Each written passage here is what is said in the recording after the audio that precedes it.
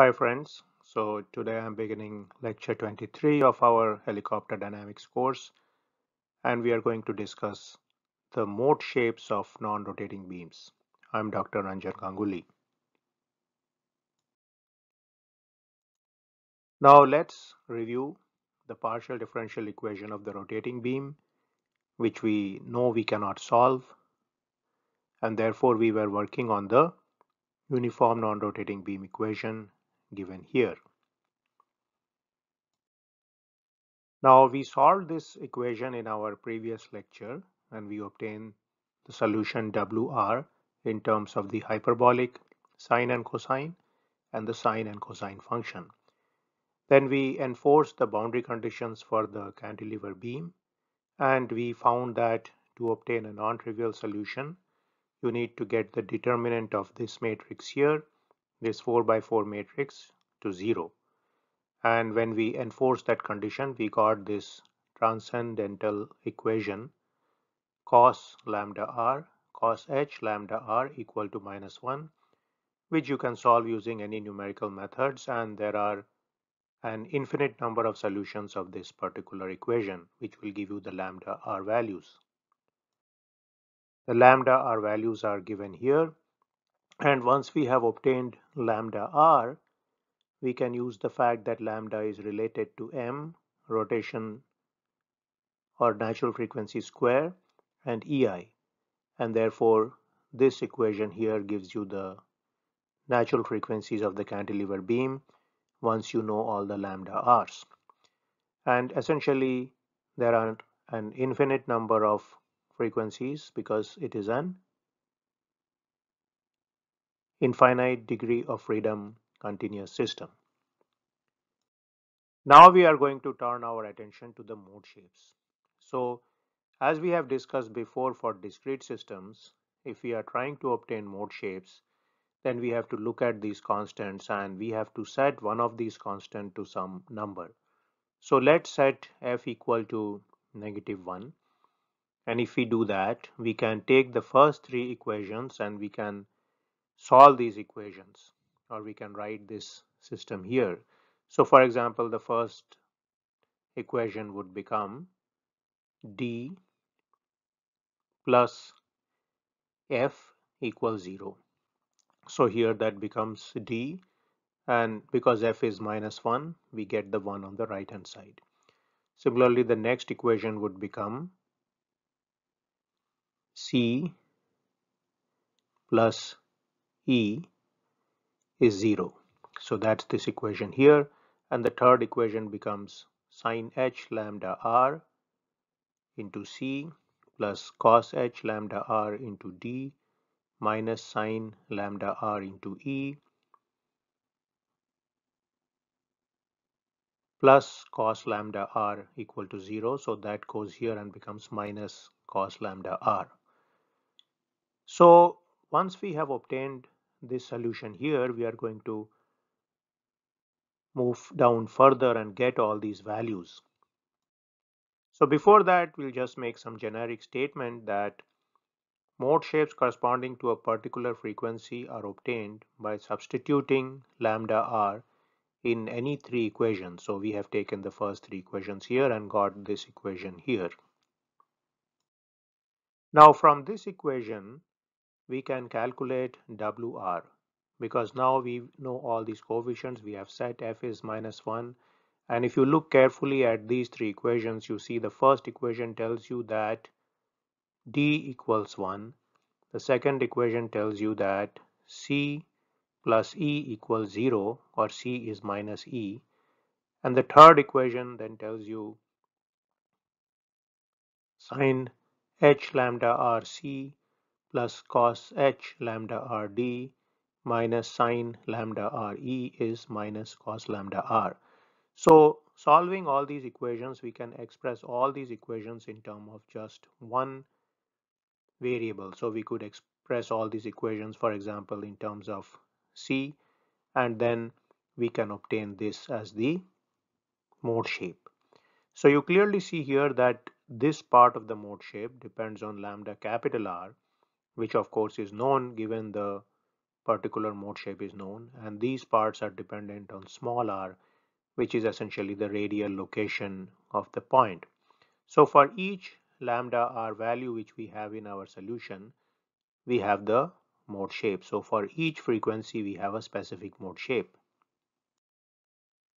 Now these natural mode shapes represent unique ways in which the beam vibrates when it is perturbed or excited. So for example, if an impulsive force is applied at the tip, so you hit the cantilever beam with a hammer at the tip for example, all the modes will get perturbed or excited. Now what happens is that typically most of the response contribution comes from the first three to four modes. And therefore we get a key simplification in most structural dynamics problems in that only the first few modes need to be considered for obtaining the response of the system. So let's look at the first few modes of a cantilever beam. So you have the cantilever beam here, it's fixed at one end, free at the other. So the first mode corresponding to this frequency here is something like this. Now you can clearly see here in the shape that the boundary condition is satisfied here. That is W is 0 here and W dash is 0. So essentially the mode shapes will always satisfy the boundary conditions. In the second case we have this here, the third case we have this and so on. Now the mode shapes of the cantilever beam are used in many places in dynamics and these are known as beam functions. So essentially we can write these beam functions out like this where we have used the more general term x here which is widely used in the beam literature instead of the r. And again each of these mode shapes corresponds to the particular natural frequency concerned. And for each of these uh, natural frequencies we can actually find out the value of alpha which comes in here. Remember this is the term dependent on the lambda capital R and then the remaining terms are actually the ones which are dependent on x and so these are the ones which essentially dictate your radial location along the blade. Now why are beam functions useful is they have certain good properties which we know mode shapes typically have. So they are orthogonal. So for example we see here that the integral 0 to r m phi i phi j is 0 when i is not equal to j and when it is when i is j it's going to be mi so in general we can represent this with the Kronecker delta we have discussed before. Similarly we can get this expression here in terms of the flexural stiffness part of the the equation. So these essentially will lead to matrices which get diagonalized and that is something which happens when you typically use these normal modes or beam functions. So here mi is the generalized mass given as 0 to r m phi i square dr.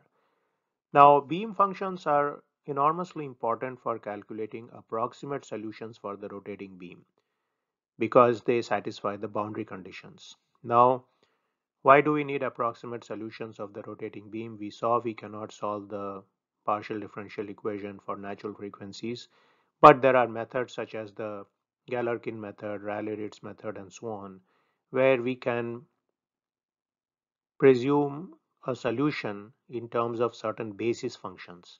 And beam functions make very good basis functions for those kind of problems. So we also can use beam functions when we are doing response solutions and this is often used in the Galerkin or Rayleigh-Ritz method for such problems.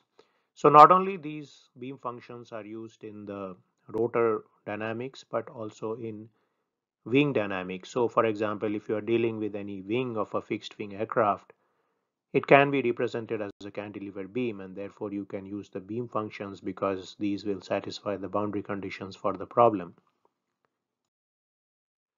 Now you know from mathematics that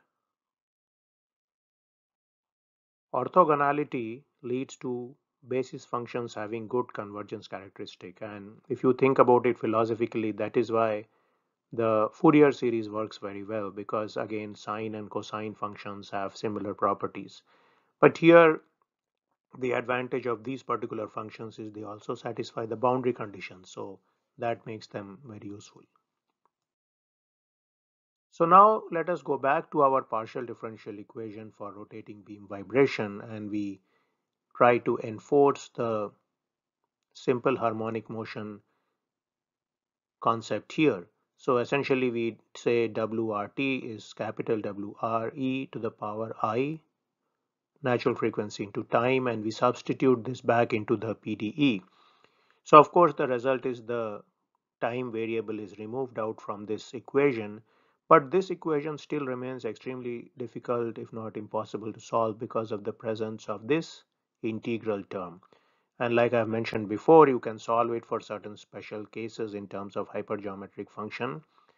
There is a paper by Storti on that and some more papers are there on this particular aspect, but these functions are again quite complicated, so there is no simple solution to this problem. So this particular equation has no simple solution. If you find a solution, then please be ready to write a paper on this because it would be a very useful discovery. Now, typically we often work in non-dimensional notation when we work on helicopter dynamics. So this equation is often written in a non-dimensional form. So just to introduce you to this non-dimensional concept, we define m naught as some reference mass per unit length. So this could be based on some uniform blade which could be there.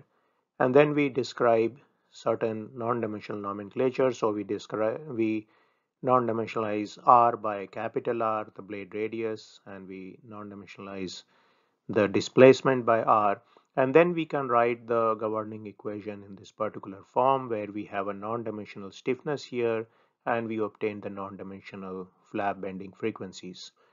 Now very often these non-dimensional quantities are used when we write computer programs to calculate frequencies and so on because one of the advantages is that the use of very large numbers which may be possible if you were to use just EI is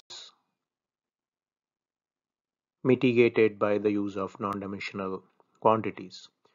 And one of the advantages of doing that is that various computer errors which come in because of round off are mitigated to a large extent. So mostly when you do computer programming and you try to find the frequencies, response and stability of any system, you try to create some non-dimensional values which is used by the code and then later you can of course convert these to dimensional values. The other advantage is that you can easily compare non-dimensional values across different rotor blades and therefore get a feel for the problem because each of the absolute values may be very different but there are certain patterns which are revealed in terms of the non-dimensional values. So we have seen that for example in the non-dimensional flap frequency we know that this number is going to be somewhere between 1.03 to 1.12 per rev and so this is generally true for most helicopter rotors but the dimensional values would be very different depending on the particular problem concerned. They would be expressed in radian per second or hertz. So that ends today's lecture. I will see you in my next video where we are going to look at the Galerkin method which is the first of a series of method we are going to use to try to find the natural frequencies of the rotating beam. See you then.